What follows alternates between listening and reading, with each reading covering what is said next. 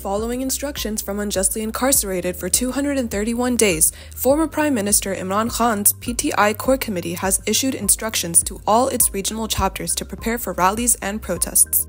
The Core Committee also announced that the party would celebrate Pakistan Day today throughout the country, including Islamabad. During its meeting, the Core Committee also stated that it will ensure former ambassador to Washington, Asad Majid, responds to Donald Lu's comments in the congressional hearing.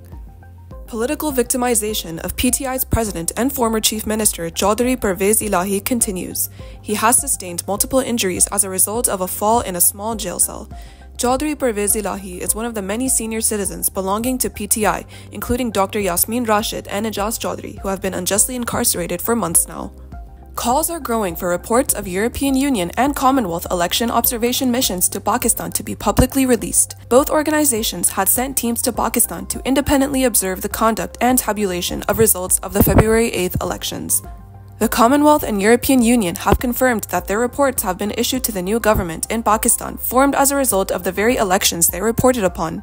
These reports are allegedly being blocked from public release by what is known as the Form 47 government, a reference to the document used to fraudulently change election results in order to hide them from the Pakistani public. The February 8th elections were arguably the most controversial in the country's history, with overwhelming evidence of widespread pre and post poll rigging, interference, manipulation, and fraud.